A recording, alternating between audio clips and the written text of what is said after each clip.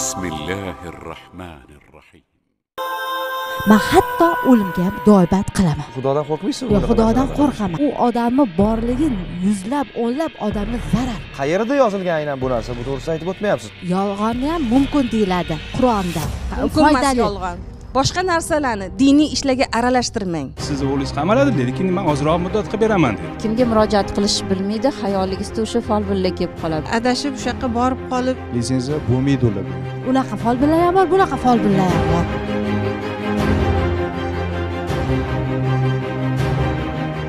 narsalar bo'lyapti. Yana qahramonimiz bor. Ha, endi rostmana folbinimiz bor. Biz shu insonni davramizga taklif qilsak. Marhamat. Marhamat studiyaga taklif qilamiz. ostida ismim alomatxon gavhar opajon ho'p taklif qilganinglar uchun juda xursand bo'ldim savollaringlarga qo'limdan kelganicha javob beraman Aha.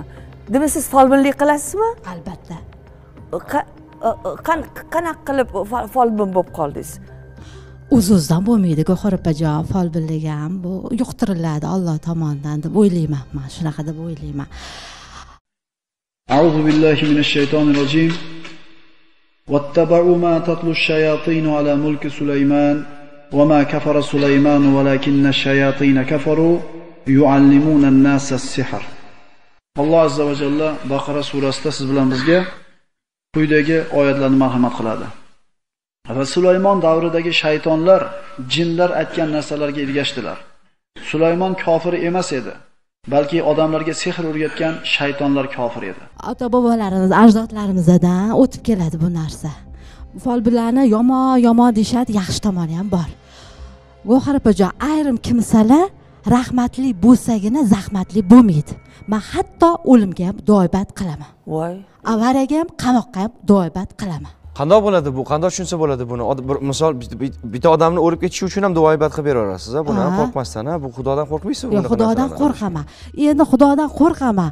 Lekin shu darajada bo'ladiki u odamni borligi yuzlab o'nlab odamga zarar. Mana bir kuni bir kelinchak keldi qaynatam zino qilaman deb yugurib yuribdi orqamdan to'yib ketdim dedi qiblaga qarab aytdimki olloh sanga topshirdim shuni desam o'zi bir alkash kelayotgan ekan o'shan bilan avariya bo'ldi. Qarang buni qarangki unisi ham bunisi ham uch kunda xolos bo'ldi o'lib ketdi.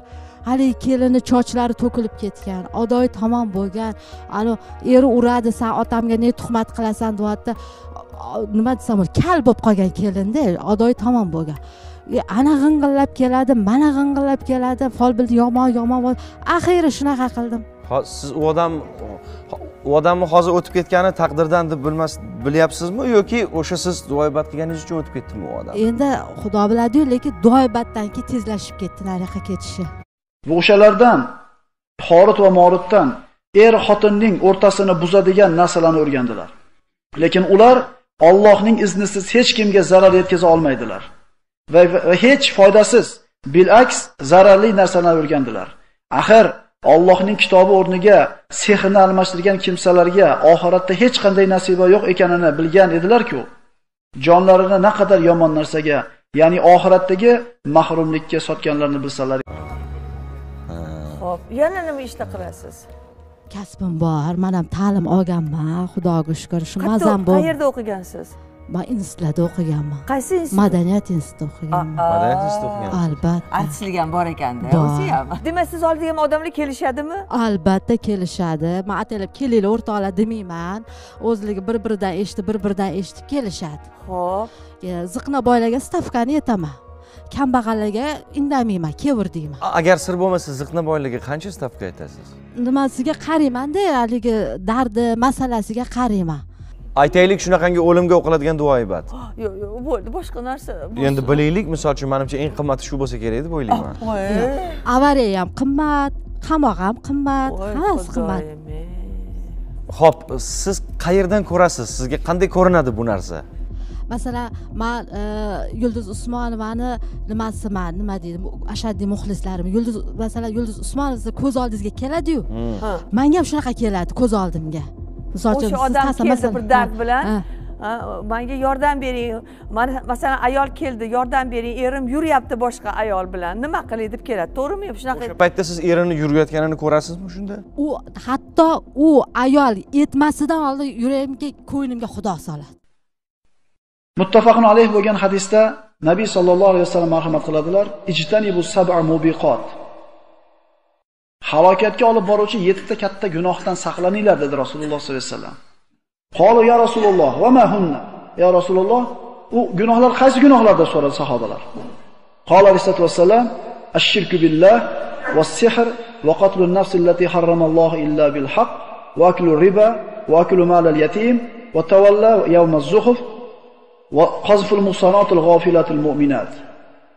Insonni halokatga olib boradigan yettita gunoh bu Allohga shirk keltirish, sehr, Alloh o'ldirishligini harom qilgan nafsni o'ldirish, sutxo'rlik qilish, yetimni molini yeyishlik, vatan himoyasi uchun bo'layotgan jangdan qochishlik va g'ofila, pokiza bo'lgan mo'min ayollarni tuhmat qilib bo'xton qilishlik, nopokligida ayblashlik. lekin ba'zilarga parda tushadi shamg'alat mana bunaqa mana mana bunaqa bo'lib ko'rinmayro turadi. Faqat shakl shamoil bo'lib. Bir xilarniki unga javob bera olmaysiz a man aytaman ochig'ini aytaman.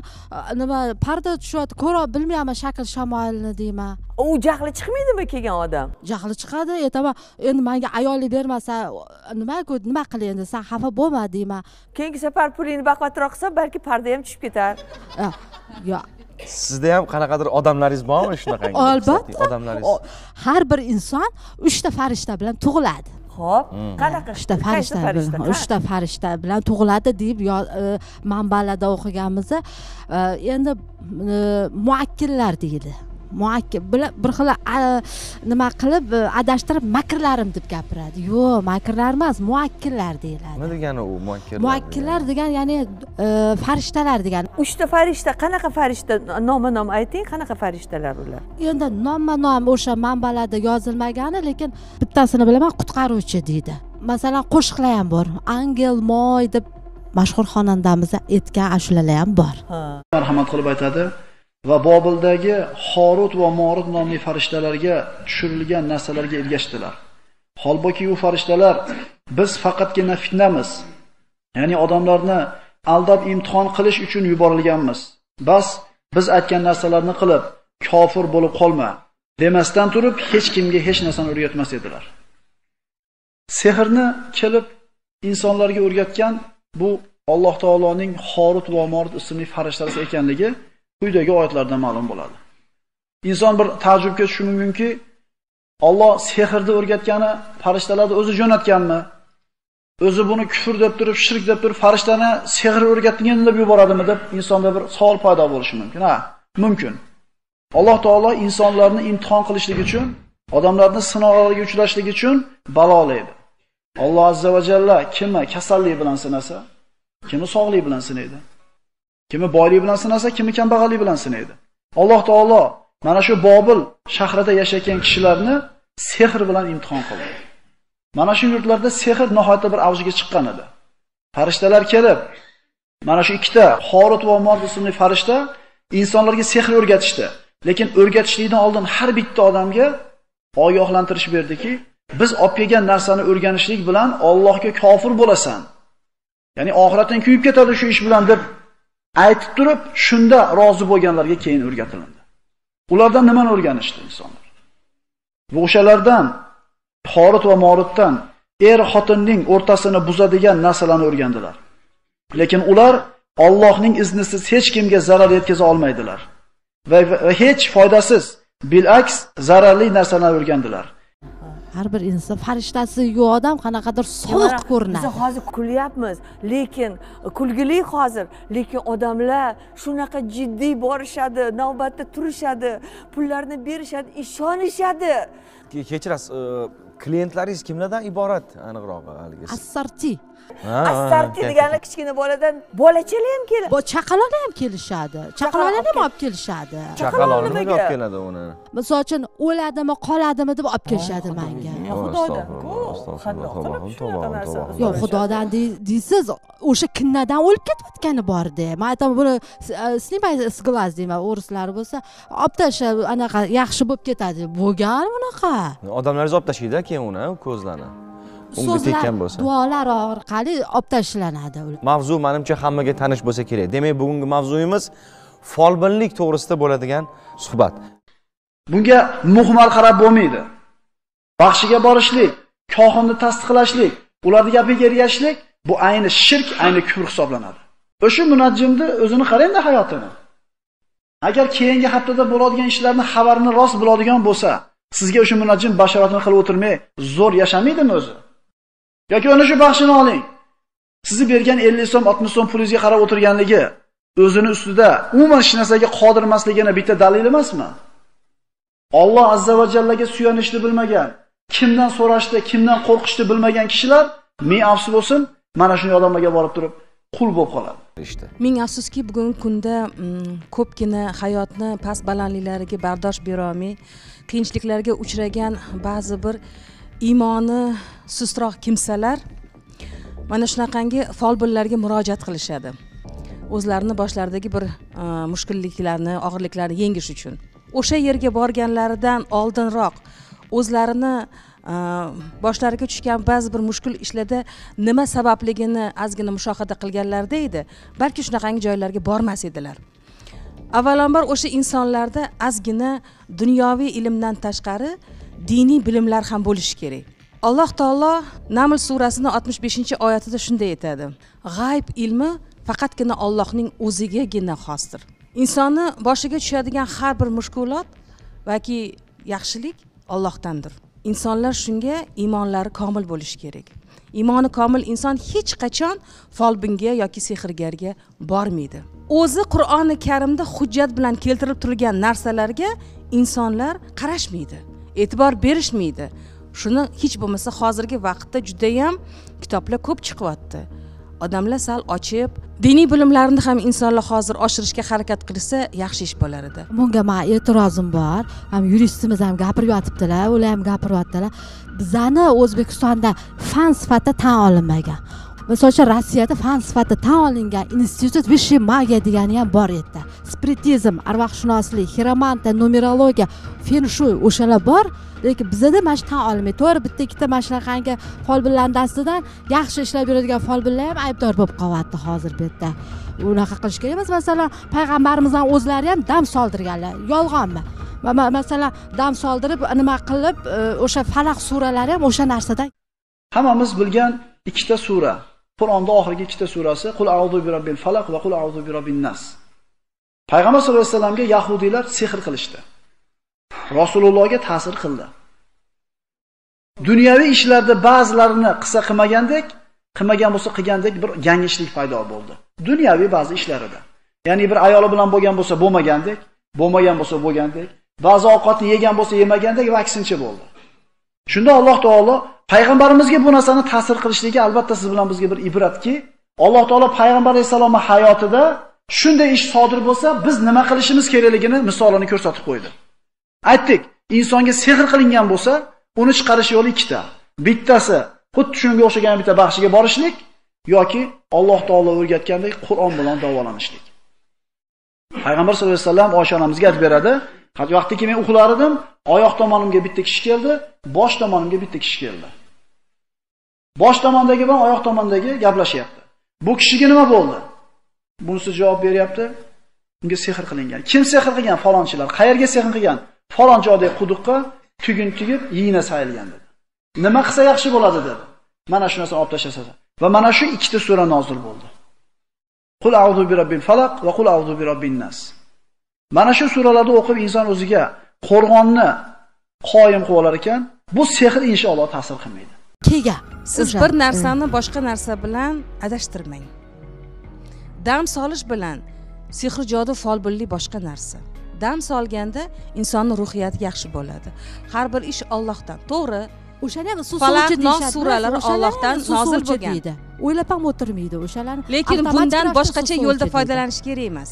Har bir narsani o'zini foydalanish yo'li bor uni boshqachangi bir e, g'araz niyatlarda ishlatganlar uchun ollohni o'zini jazosi bor. Yolg'onni ham mumkin deyiladi qur'onda. Mumkin emas yolg'on. Yo'q hech qachon yolg'onga kasal odamga kasal odamga san yaqinda o'lasan deyolmayman masalan man. Yo umringiz siz uni boshqacharoq gaplar gapir e, uni aytish shart emas. Nimaga nega man больницаdan shart qaytdim dedi bir kuni bittasi. Nega qaytdim nega man bu yerda yotibman dedi. Yo siz yana ham yana mana shu uyda parvarish qilsangiz yashab ketarkansiz o'shaning uchun shu yerdasiz dedi. Shundan keyin o'n yil yashadi. Uni o'n yil yashashi taqdiri azalida belgilangan. meditsina siz qaytarib uni na siz na boshqa inson belgilab olmaydi boshqa narsalarni diniy ishlarga aralashtirmang. Xo'sh qolganlar qanday bu fikr bor? uyg'unlikdagi diniy bilan psixologiya okkultizm uyg'unlikdagi faoliyat. Yosh qizlar hali maktabda o'qiydigan qizlar oliygohda o'qiydigan qizlar shunaqa folbinga borishga o'rganishyapti bu boradida ularni ham muammosi bor. Samandorjon boradida ular ham endi umidam ham aytganlarida bor shunaqa uyushgan jinoyatchi folbinlar ham hammasini hozir televizorga chiqarib yomonlab tashlayapsizlar bor o'shalarni hammasi muammosi bor. Hal qilolmayapti qiynalyapti o'shalar. O'shalar borda o'sha ular endi guruch kurmaysiz bo'lmaydi samandorjon unaqa folbinlar ham bor bunaqa folbinlar ham sehrgarni jazosini sahobalar ijmo bilan bo'yniga qilich urishlik deyishgan.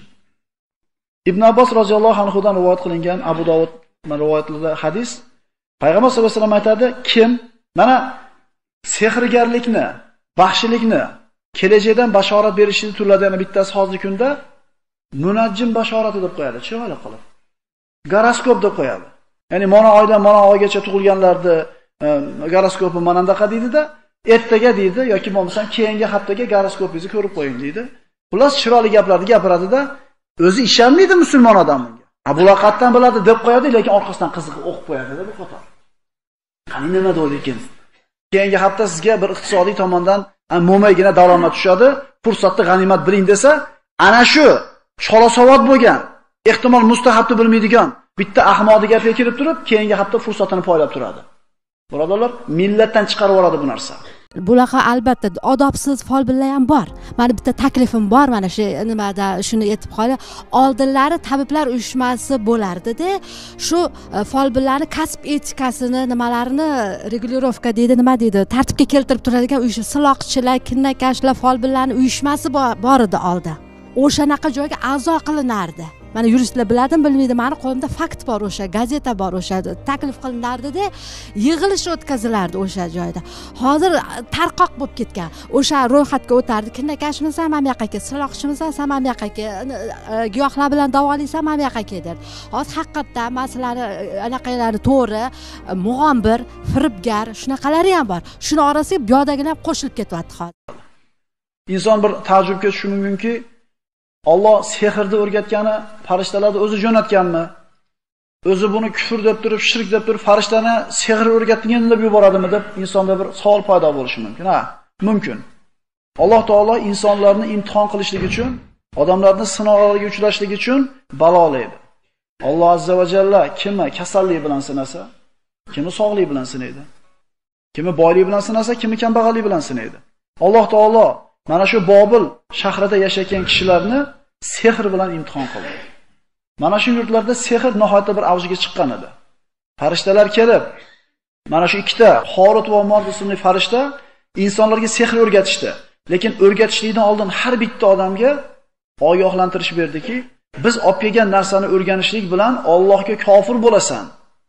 Ya'ni oxiratdan kuyib ketadi shu ish bilan deb aytib turib shunda rozi bo'lganlarga keyin o'rgatiladi ayrim ayrim shu sizdagi folbinlarni e, nima deydi aldoq so'zlariga ishonib oilalarimiz ajrim yoqasigacha borib qolyapti buni asosiy sabablaridan biri man o'ylaymanki mana mana shu folbinga boradigan yigit qiz e, qizlarimiz yigitlar ham borsa kerak boradi. Shularni e, keladi keladi. Keladimi? Yigitlar ham bor. Kelishadi. Bularda ma'naviyati kuchli emasligi bunaqa holatlar juda ko'p kuzatilyapti. Buning uchun avvalambor bizni nima ish qilishimiz kerak? Maktabda kollejda mahallada oilada e, o'zimizni atrof muhitimizda farzandlarimizga bo'lgan o'zimizga bo'lgan diniy va dunyoviy ilmlarimizni yuqori darajaga ko'tarishimiz kerak. Biz albatta o'rmonda yashayotganimiz yo'q. Atrofimizda o'sha yaqin dugonalarimiz bo'ladimi ota onalar bo'ladimi yoshi kattalar bo'ladimi va biz bilamiz kimdir borishini kimdir bormasligini. Imkon boricha bir birimizga o'zimiz yordam beraylik do'st bo'laylik. Mana shu ishlardan agar kimnidir qaytarsak kerak emas bir o'sha psixologga borishni tavsiya qilaylik. Iltimos bir birimizga yordam beraylik. Axir hammamiz bir bir vatani farzandlarimiz va bir birimizga yordam bersak savob ish ko'proq qilsak foydasi ko'proq bo'ladi deb o'ylayman. Hammangizga rahmat. Omon bo'ling.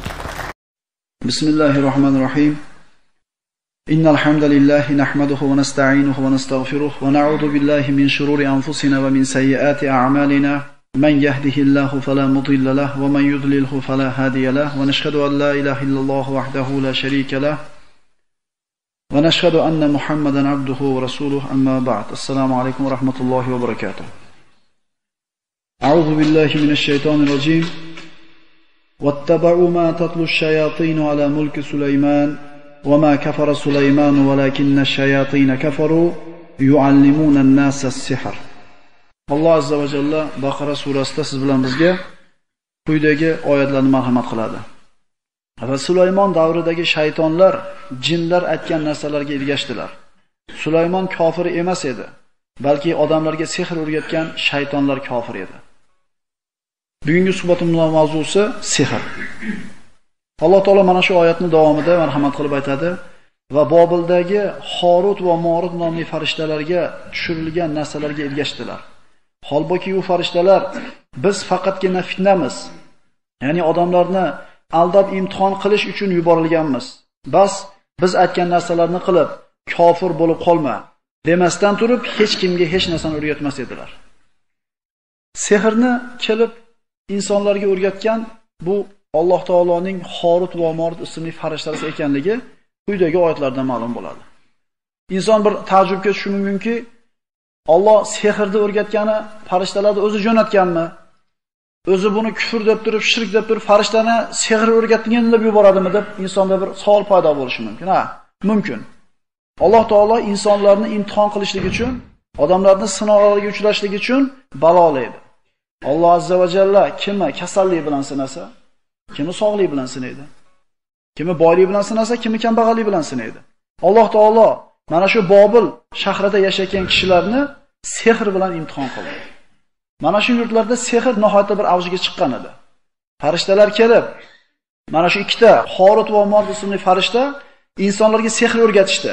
Lekin o'rgatishlikdan oldin har bitta odamga ogohlantirish berdiki, biz olib kelgan narsani o'rganishlik bilan Allohga kofir bo'lasan. Ya'ni oxiratdan kuyib ketadi shu ish bilan deb aytib turib, shunda rozi bo'lganlarga keyin o'rgatiladi. Ulardan nimani o'rganishdi insonlar? Bu o'shalardan Horut va Moritdan er xotinning o'rtasini buzadigan narsalarni o'rgandilar. Lekin ular Allohning iznisiz hech kimga zarar yetkaza olmaydilar. Va hech foydasiz, bilaks zararli narsalarni o'rgandilar. Axir Allohning kitobi o'rniga sehrni almashtirgan kimsalarga oxiratda hech qanday nasiba yo'q ekanini bilgan edilar-ku. Jonlarini naqadar yomon narsaga ya'ni oxiratdagi mahrumlikka sotganlarni bilsalar edi. Bu ikki farishta nimani o'rgatdi odamlarga? Yo'q narsani bor qilishni o'rgatmadi. Kambag'alni boy qilib qo'yishni o'rgatmadi. Ko'zi ko'r odamni ochib qo'yishni o'rgatmadi. O'rgangan narsasini bor yo'g'i shu bo'ldiki, o'rgangan narsasi er xotinning o'rtasiga sog'chilik solib qo'yishi bor.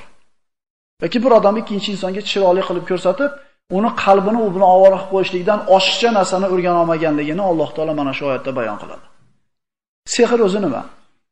Sehr bu agar bizni soddaroq tilimiz bilan aytadigan bo'lsa, ko'z bo'yamachilik.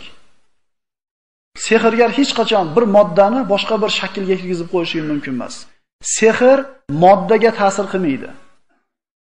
Ro'parasida turgan e, bir jismni yo'q qilib qo'yganligini ko'rasiz yoki bir boshqa narsaga aylantirib qo'yganligini ko'rasiz bir sehrgarda. Bu aslida hiyla, bu kiz. Hech qachon moddani o'zgartirib yo'q qilib qo'ya olmaydi. Bu ko'zbo'yamachilik. Qur'ondagi eng katta kelgan qissa Musa alayhisolamning qissasida mana sehrgarlar bilan Musa alayhissalom o'rtasida bo'lib o'tgan mana bahsni eshitganmiz ko'pchiligimiz.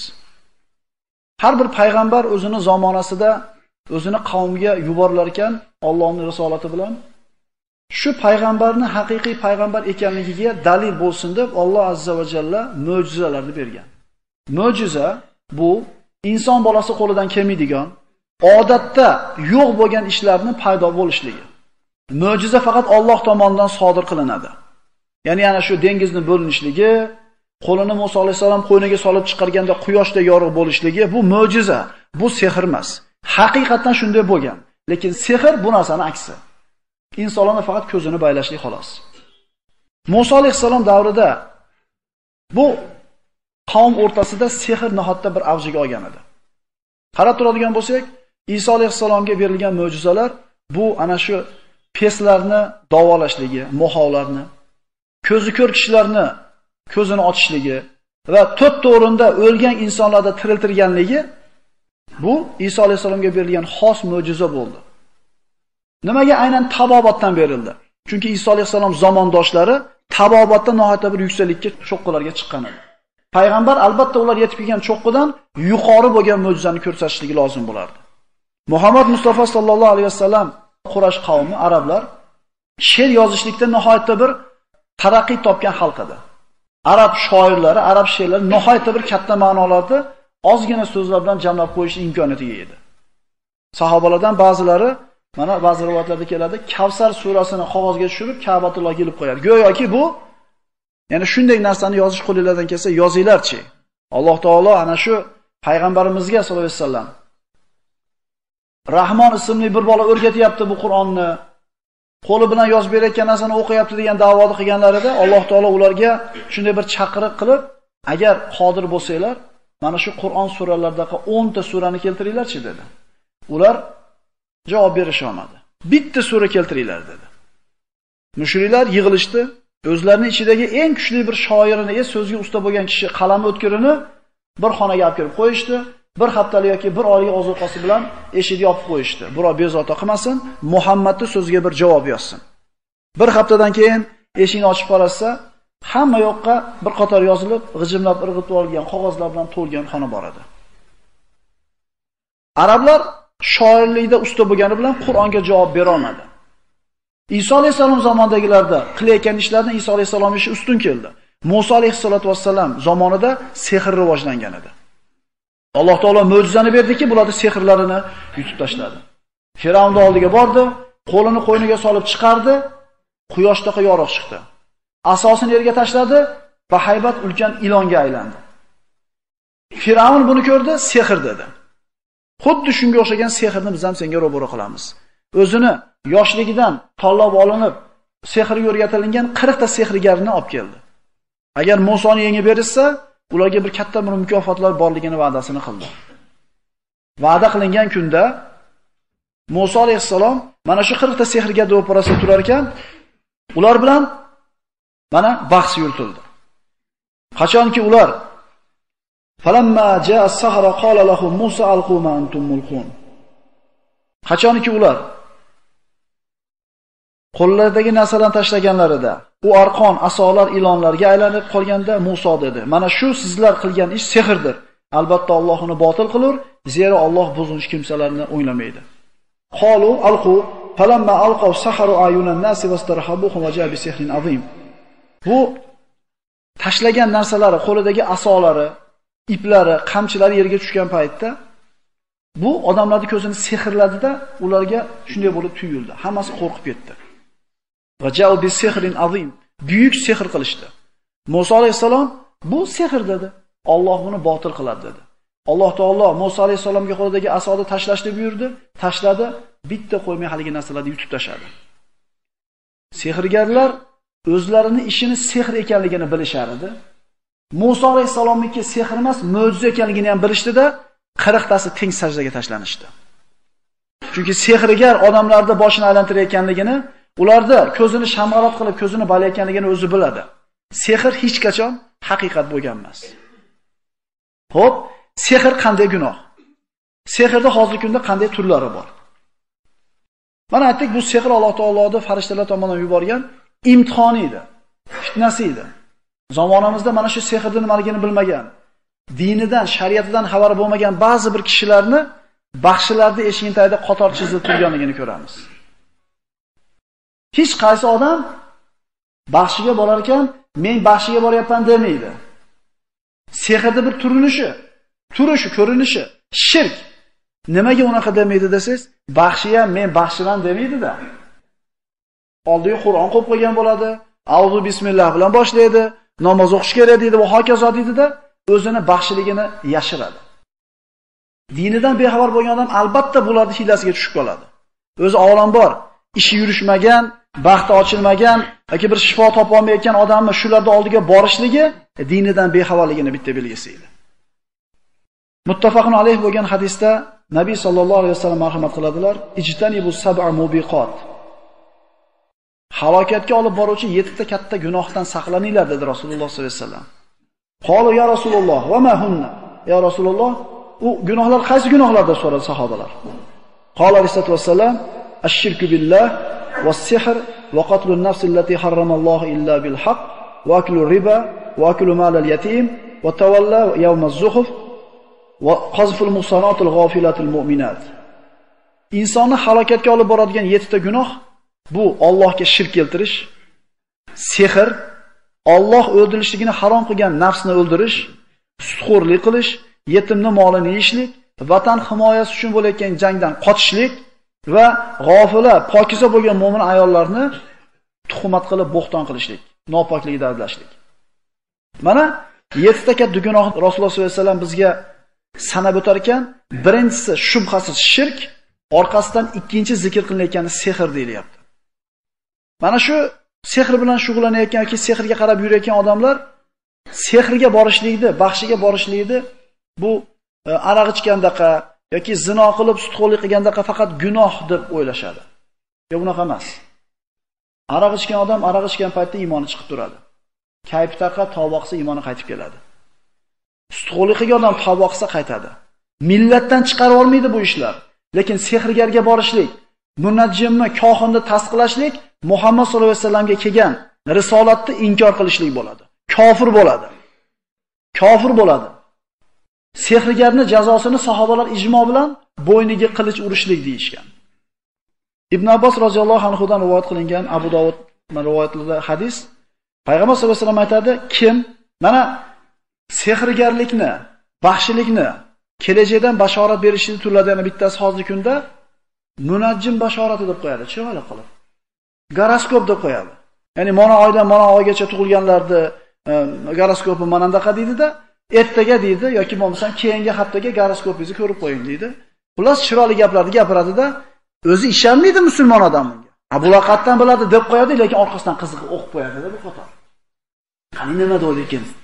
Keyingi hafta sizga bir iqtisodiy tomondan mo'maygina daromad tushadi, fursatni g'animat biling desa, ana shu cholasavod bo'lgan, ehtimol mustahabni bilmaydigan bitta ahmoqni gapiga kirib turib, keyingi hafta fursatini poylab turadi. Birodarlar, millatdan chiqarib yuboradi bu narsa. Bunga muhmal qarab bo'lmaydi. Baxshiga borishlik, kohinni tasdiqlashlik, ularning gapiga ergashishlik bu ayni shirk, ayni kufr hisoblanadi. O'sha munajjimni o'zini qarangda hayotini. Agar keyingi haftada bo'ladigan ishlarni xabarini rost biladigan bo'lsa, sizga o'sha munajjim bashoratini qilib o'tirmay zo'r yashamaydimi o'zi? Yoki uni shu baxshini oling. Sizni bergan 50 so'm, 60 so'm pulingizga qarab o'tirganligi o'zini ustida umuman hech narsaga qodir emasligini bitta dalil emasmi? Alloh azza va jallaga suyanishni bilmagan, kimdan so'rashni, kimdan qo'rqishni bilmagan kishilar ming afsus bo'lsin, mana shunday odamlarga borib turib qul bo'lib qoladi. Ali ibn Abi Talib roziyallohu anhu dan rivoyat qilingan hadis Imom Ahmad rivoyati. Halasatun la yadkhulunal jannata. Mudminu khamr, qotir rahim va musaddiqu bis sihr. Uch kishi jannatga hargiz kirmaydi. Aroqxo'r odam, qarindosh urug'chilik aloqalarini uzgan kishi hamda sehrgarni tasdiqlagan kishi. Ya'ni mana ishni qilib qo'ysangiz, ishlaringiz yurishib ketadi. Mana tikanni ilib qo'ysangiz, yuzga kelayotgan ko'zlarni qaytaradi. Mana taqani qoqib qo'ysangiz, yuzga omad keladi. Mana shu sehrgarlikni, baxshilikni shirkda bir ko'rinishi. Bir qarab qo'yaylik ularda.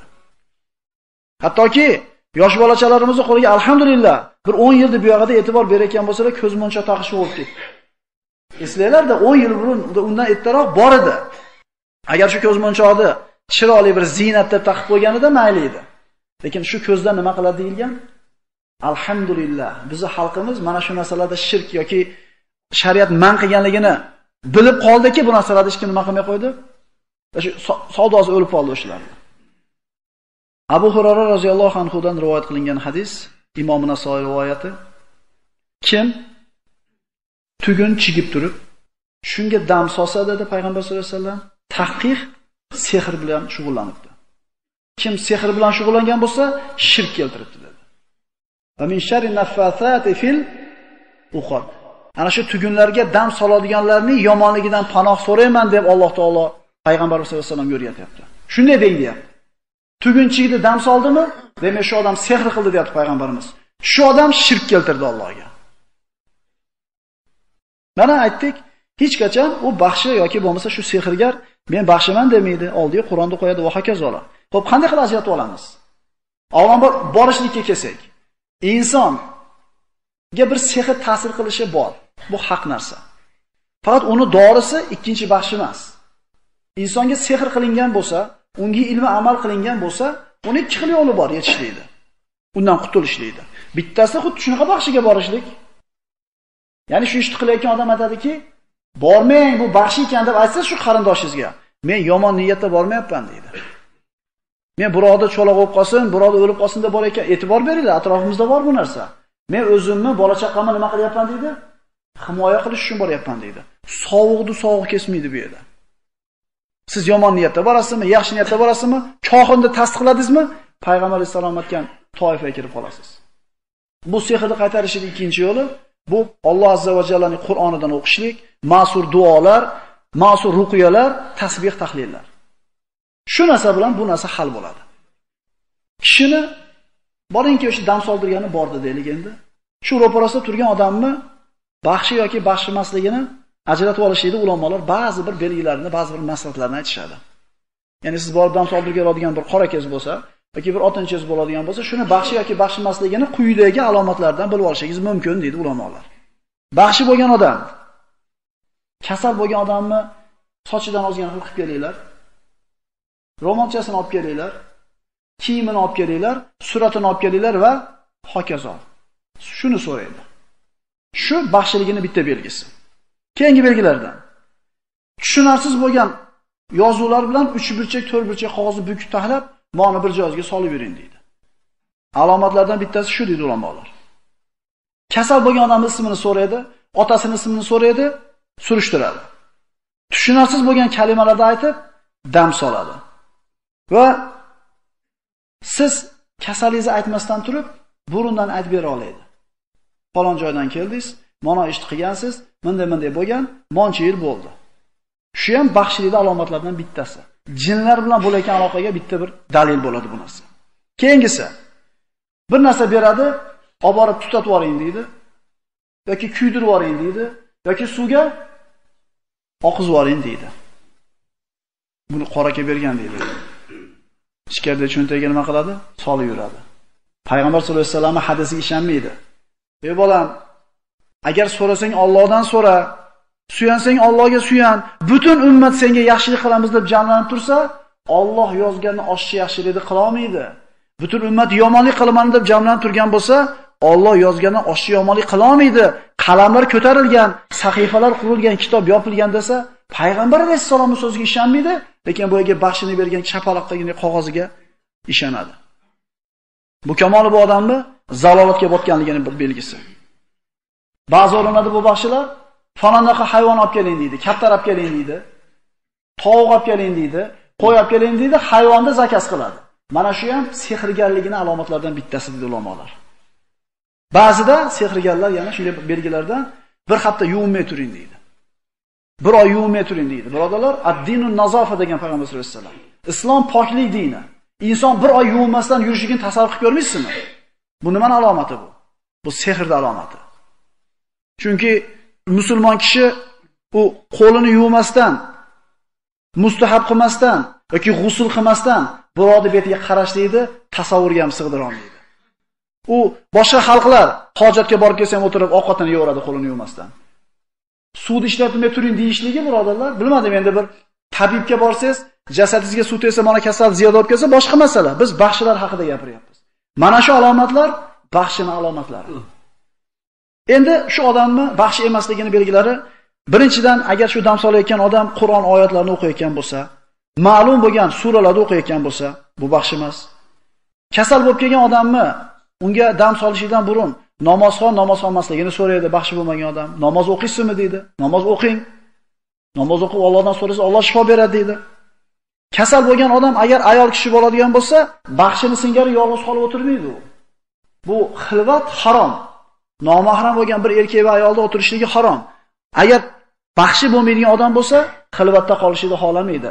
Akangizni, kuyovingiz yoki o'ziga mahram bo'lgan erkakni bilib olib kelib o'tiring deydi.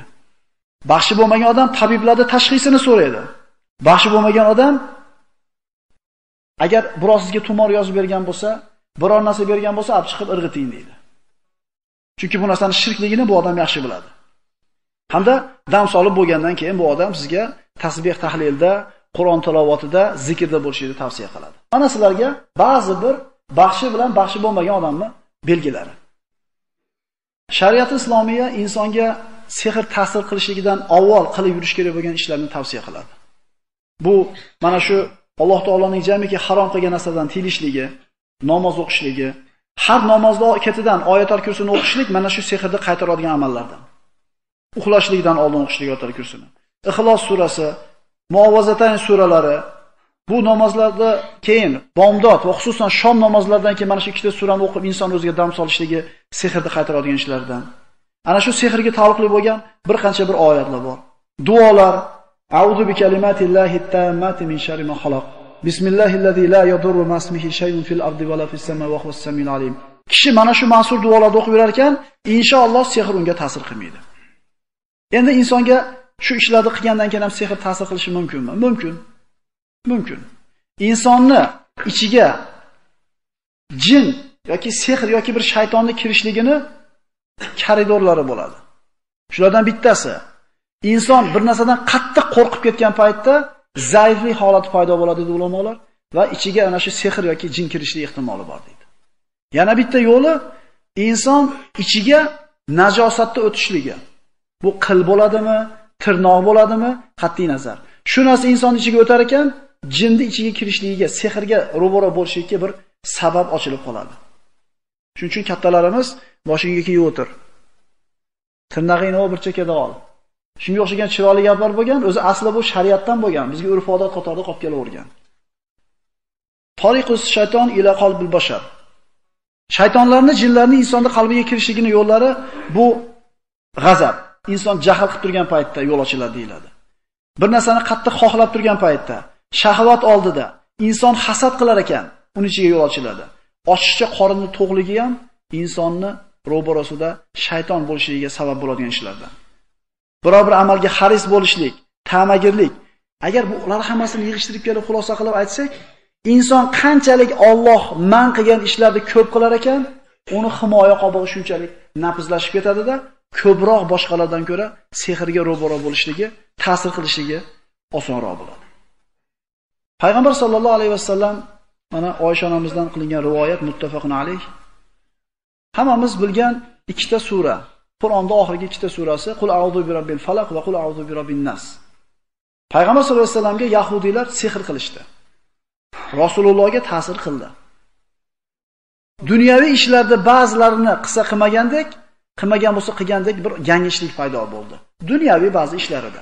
Ya'ni bir ayoli bilan bo'lgan bo'lsa bo'lmagandek, bo'lmagan bo'lsa bo'lgandek, ba'zi ovqatni yegan bo'lsa yemagandek va aksincha bo'ldi. Shunda Alloh taolo payg'ambarimizga bu narsani ta'sir qilishligi albatta siz bilan bizga bir ibratki, Alloh taolo payg'ambar alayhissalomni hayotida shunday ish sodir bo'lsa, biz nima qilishimiz kerakligini misolini ko'rsatib qo'ydi. Aytdik, insonga sehr qilingan bo'lsa, uni chiqarish yo'li ikkita. Bittasi xuddi shunga o'xshagan bitta baxshiga borishlik yoki Alloh taolo o'rgatgandek Qur'on bilan davolanishlik. Payg'ambar sollallohu alayhi vasallam Oysha onamizga aytib beradi, vaqtiki men uxlar edim, oyoq tomonimga bitta kishi keldi, bosh tomonimga bitta kishi keldi. Bosh tomondagi bilan oyoq tomondagi gaplashyapti. Bu kishiga nima bo'ldi? Bunisi javob beryapti. Unga sehr qilingan. Kim sehr qilgan? Falonchilar. Qayerga sehr qilgan? Falon joydagi quduqqa tugun tugib, yina sayilgan dedi. Nima qilsa yaxshi bo'ladi dedi. Mana shu narsani olib tashlasa. Va mana shu ikkita sura nozil bo'ldi. Qul a'udhu bi robbil falaq va qul a'udhu bi robbin nas. Mana shu suralarni o'qib inson o'ziga qo'rg'onni qoyim qilib olar ekan, bu sehr inshaalloh ta'sir qilmaydi. Yana qaytarib o'tamiz, bu zamonamizda ko'chada karta ochib o'tirganlar bor, tosh terib o'tirganlar bor, tasbeh terib ushlab o'tirganlar bor. Bular hammasi mana shu sehr jumlasiga kiradi. Biz aytayotgan munajjim bashorat ham shularning jumlasidan.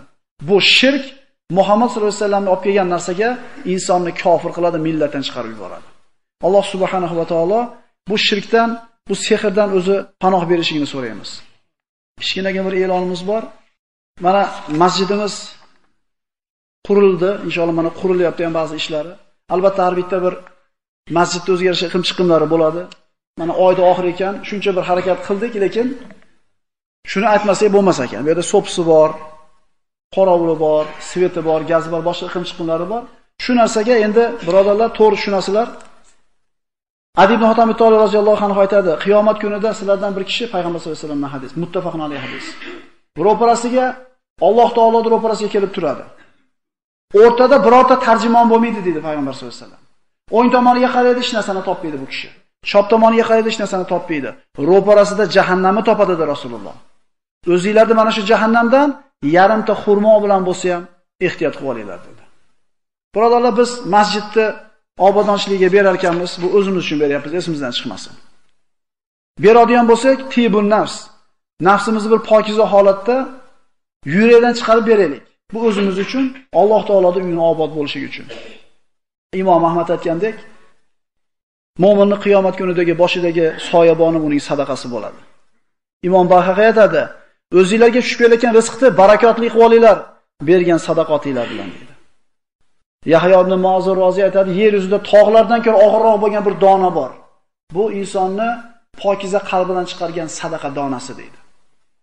Demak, birodarlar, masjidimizni sarfhajatiga ozgina bir sizlarga muruvvatinglar kerak bo'ladi. Shu narsani inshaalloh esdan chiqarmaysizlar. Assalomu alaykum va rahmatullohi va barakatuh.